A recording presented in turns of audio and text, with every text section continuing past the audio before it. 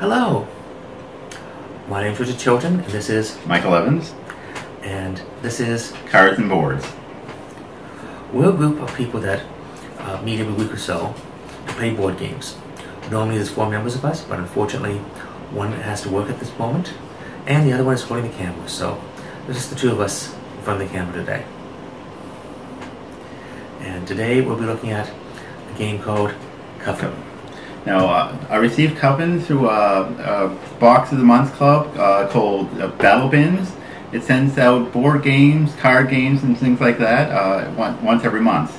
It's wonderful. Uh, I've been I, I've belonged to it for about uh, three months, and I've gotten several games that I myself would never have bought. But I'm so glad I received them. This is one of them. I've actually looked at this in stores and thought about it, but I've always put it back down. I'm so glad that they sent me this game. This is a great game, but you know we'll, I'll get to that. Uh, I, I don't want my spoil my review, so we'll get to that later. This game, the first thing you do is decide who goes first. Usually done with a d6, high rollers gets to pick. Although, there really isn't much of a difference uh, because it is a balanced game. You play one of uh, five factions, either fire, earth, water, spirit, or air, and try to gain favor with the various goddesses. No, I lost a piece, unfortunately, connecting that part.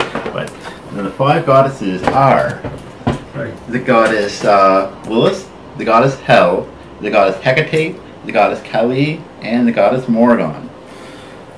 Now, what you're trying to do is you're trying to get the balance of the goddesses uh, as high as you can, and you're both trying to get your favor with the goddesses as high as you can. But there is a trick to it.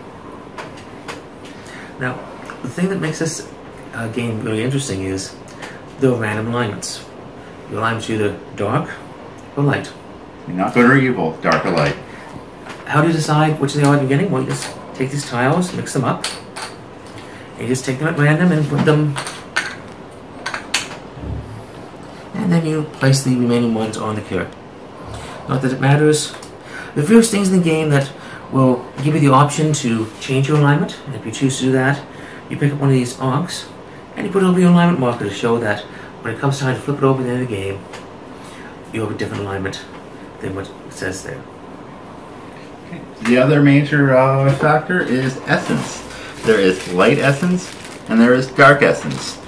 You will empty these bags over here. Uh, you'll keep them separate. You'll put them in the supply. There is supply and there's cauldron. When you gain essence, you gain them from supply. You'll gain essence from the board. You'll gain uh, essence from uh, various artifacts. You'll, you'll spend essence because of the board. You'll spend essence because of the very artifacts. When you gain essence, you take from supply. When you spend, you'll uh, put them in the cauldron. Make sure to keep them separate. It will become important. Do not, and you never take from the cauldron, only from the supply.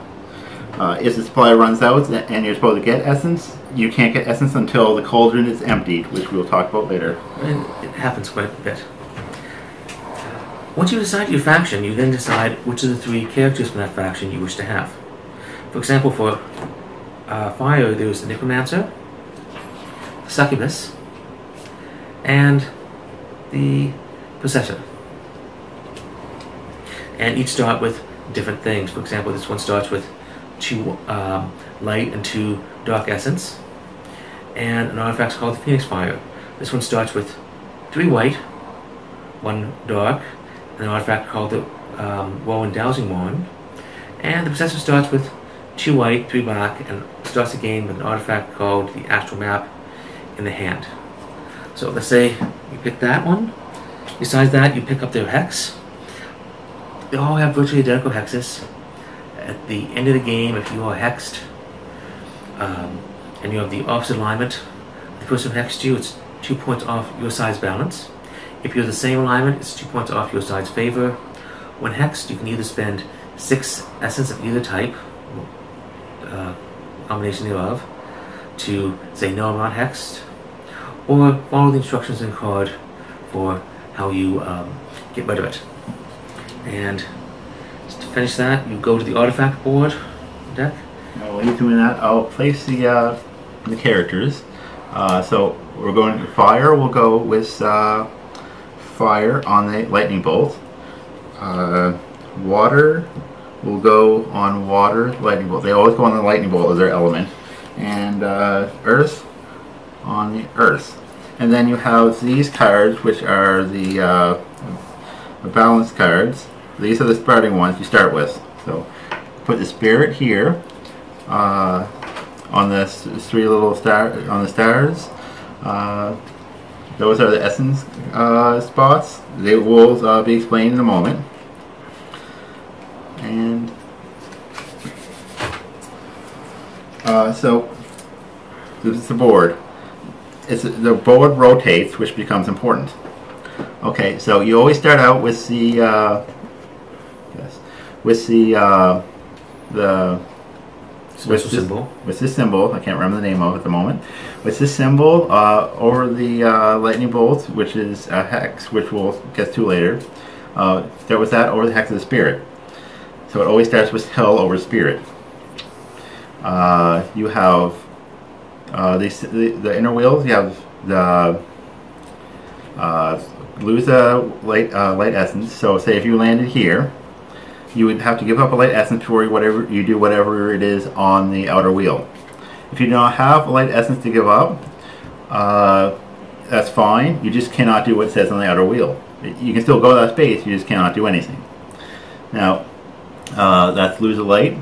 That's lose a dark essence. That's gain a dark essence.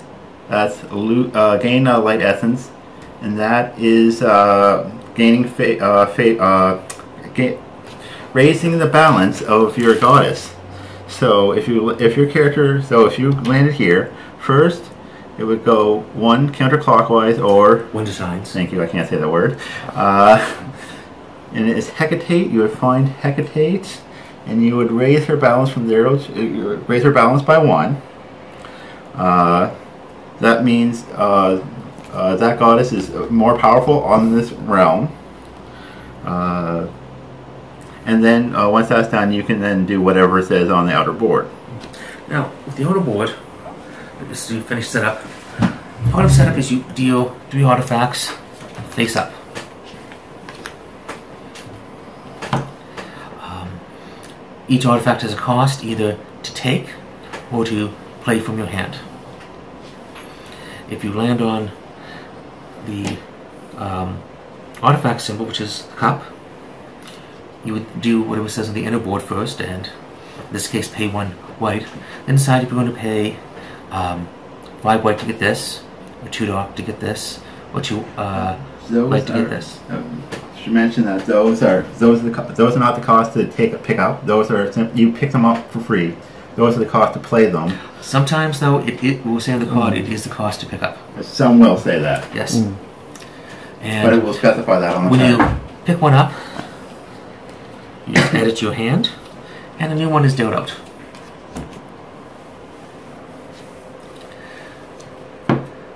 And of course, when you're done with them or use them, quite often they're just discarded and you add them to the discard pile.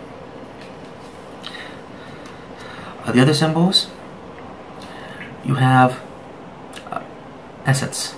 If you land here, and you do whatever it says, you know, what says first, and then you take whatever the essence showing it uh, it shows. For example, at the moment it says one white and one uh, dark. If it happens like this and you desperately need essence, you'd be a bit out of luck because you'd have to pay an essence before you got any. If you're out of essence, you can't do what the inner wheel says, so you can't get the benefit from the outer wheel. Other times it might be stacked like this, where you gain uh, a white essence for the fact that the says you get light essence, and then one and one. Whenever this symbol um, becomes aligned with one of the essence bits, you count the essence in the cauldron. If there's more light than dark, you draw a new card from this, whoever caused the shift. And there's more dark than light, get one from the dark balance. Two. You just grab the top two cards and you look at it. Now, this one says you take um, one either light or dark, one either light or dark, that's what those symbols mean. And at the end of the game, if this card is showing, it's plus two to the light side. This side will give you two dark and one light. And at the end of the game, if it's showing, it will be plus one to the light side. Person who causes the shift picks one of these. Let's say he picks the spirit one. Discards the starting deck and puts one he didn't pick as a discard for the light deck. These ones will be reshuffled in as needed. These ones, of course, are just your starters. Now, an important note is that uh, when you draw them and choose, you choose secretly and you put it face down so the other players don't know what you choose. It helps keep your alignment secret. Because your alignment being secret is one of the weird bits of the game. You don't not actually know if the other people playing with you on your side or the other side. Uh, the next symbol is hex. If you land here, uh, by default, if you choose to hex somebody, it would be the person closest to you going this way. So, if fire landed there to hex somebody, that would be, sorry, if water landed there and wanted to hex somebody, it would go into the fire and they'd display it like that to show they're hexed. Or pay the essence not to be hexed, or play a card not to be hexed. However that goes. Or sacrifice and the right element. To get rid of it, you can sacrifice the right element, but we'll deal with that now. When you land on the sacrifice bit, you do what the inner board tells you to do. Then you shift it one hex widdershins. If you're hexed, you can uh, say, I'm sacrificing to get rid of the hex, and the hex is returned to the person who gave it to you. Otherwise, you gain favor with the goddesses. Now you start each color is associated with each um, elemental. So we'll just put out fire, earth, and water. And I think I that's water I've been moving around. So if water lands there, you would pay one essence to move it from zero to one. You always pay the cost of the number you're moving to. And if you don't have enough to move it, you no, you can't move it, and you can never move it more than one one square, unless you have some sort of weird special card that allows you that. The last thing on the outer board is the augury, where you get to check to see what the alignment is of the goddess you fall under. Um, right now, the augury symbol is under Lilith, so if I landed there and hadn't checked anybody else out before, I could grab one of these symbols put it next to Lilith, which is here, to show that I had picked up and looked at this. Normally do it privately, but Lilith is a light this time. If I then wanted to um, see Kali, since I'm already friends with Lilith, I have to have I have to have at least one point of favor to um, look at her alignment. You always need uh, the first one is free, then it's one point per additional one. So look at the third one, I'd have to have a favor of two. Look at the fourth one, I'd have to have a favor of three. Look at the fifth one, I need a favor of four. And that's basically it. Now, the problem is, when you start the game, you don't necessarily know, like, you don't know at all, what alignment any of the goddesses are. So you can increase their role in the balance and even sometimes gain favor with them and they're on the opposite side. They're the dark, you know, the light, or vice versa. You always know yours, and um, for example, this person's dark. But you don't necessarily know the other people at the table or the goddesses, and that adds a weird twist to the game.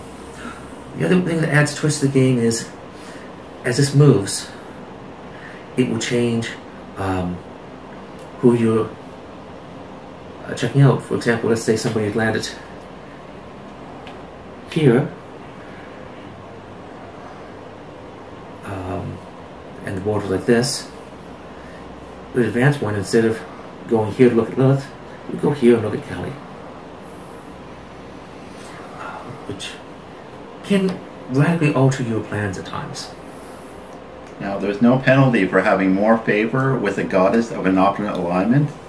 However, uh, so like I say, don't don't worry about getting favor. Other, basically, Uh, other than the wasted essence uh, during the game, which you'll get a fair bit of, uh, usually, uh, there's no negative effect at the end of the game.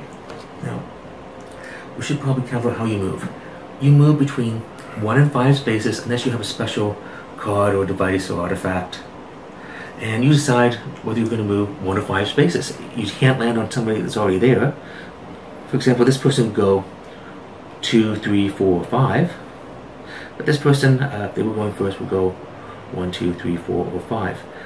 Which basically gives you an option of any particular powers uh, you want to land on, if you can play the inner cost, and there's nobody already there. Uh, there's also travel on the inner wheel.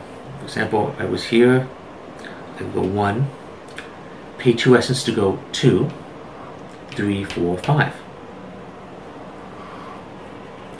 And, oh, that's basically how you move. You decide whether you're going to you always have to do what the inner wheel tells you to do. Then you decide you want to do what the outer wheel tells you to do. Um, as I say, sometimes you really need the essence, and it's like that. Sometimes you don't particularly um, want to give power to a goddess, but her symbol happens to be on the essence bit that you need, so you land on that, and you increase her balance by one as you shift the board. It's interesting strategy at times because you can't plan more than a few moves ahead because you have no idea who's going to move the board. Now, the game ends when uh, someone either gets five favor or uh, goddess gets up to eight balance. Uh, that those are the end game conditions. When the game is ended, the first thing you do is you see who loses. You reveal what the alignments are for all the goddesses. And You then well, put them at random amounts. Then you then add up the the alignments or uh, balances for the different alignments. yes, then you add other cards. For example, this one shows plus two light when you're done adding all the light together. And if you were cursed with this, and this person happens to be dark, and the person who cursed them was light, you'll be minus two off the dark. You basically find out one balance has won or lost. Yeah. Everybody that was alignment for that side, if they hadn't changed their alignment by putting an arc on their alignment card, they lost. It's possible for all the characters to lose the game. Not very satisfying, but it's possible. Once you determine who's lost, you then see who has the most favor among the side that won, and there are various cards that modify it. For example, there's one that allows you to add um, half the favor you have with the goddesses on the other side to your positive total. And if you're cursed, that's minus two off your favor at that point. And you see who has the most favor. And that's basically it. It's a fun game because there's um, the moving of the boards, inner board widdershins, means that you can't really anticipate what you have to do before you can use the other square. And when it comes to giving power or using um, the augury on the goddess, you don't necessarily know which one will be involved when you uh, land there because other people will be moving the board during their turn. And I believe that's less it. See, I, I really like this game. Um, well, one thing, is pure strat. The only luck is what uh, what order the effect, uh, artifacts come out in. It's the only luck in the game. Everything else is pure strategy. But you cannot plan too far ahead because you don't know what the other people are going to do when they turn this. There's not a lot of take that cards in this. There's not a lot of nasty stuff. But you can really throw one someone off just by shifting it like this. That can throw off a person's whole game. For example, you might need essence uh, desperately, but now you have to pay essence you don't have before you can gain essence, so you can't gain essence. You may not want to increase the balance factor of Hecate um, because you know she's of the opposite alignment of you, but you desperately need to land on whatever symbol Hecate is over, usually essence or artifact.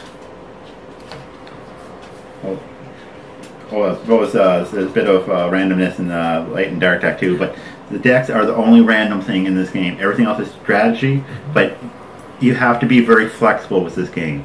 Uh, you have to know, like I say, you have to be able to just drop what you were doing before and come up with a new strategy on the fly. Uh, uh, I think this is a great game. Uh, wonderfully designed. The book, the, the, the rule book is sort of eh. Not the worst one I've seen, but like I say, it could have been better because, like I say, it took me like three read throughs trying to figure out where the character started, and I realized the only place that actually mentions the picture inside of the starting. Uh, but and the miniatures are a bit uh, kind of cheap, and they all sort of look the same to me for the most part. So I keep moving other people's pieces by mistake. Other than that, I love this game. It's a wonderful game. And the components are sturdy, like these are quality pieces. Yeah. Nice thick cardboard. Good The, cards. the good the cards are good qual- great quality. Yeah. Like other than the miniatures, everything is great quality. And the art on the artifacts is all professional quality. Often have a nice little piece of flavor text on them. Even the board, the boards are beautiful, uh, beautiful to look at as well. Uh, I think is that all. I believe that was it. Uh, I will try to put links to uh, uh, 8th Summit, which is the company that uh, produces this game, and a link to Battle Bins if you people are, if anyone is interested in looking into that as well. Uh, well, thank you for watching our uh, first episode of Cards and Boards. Okay, and than that is, thank you.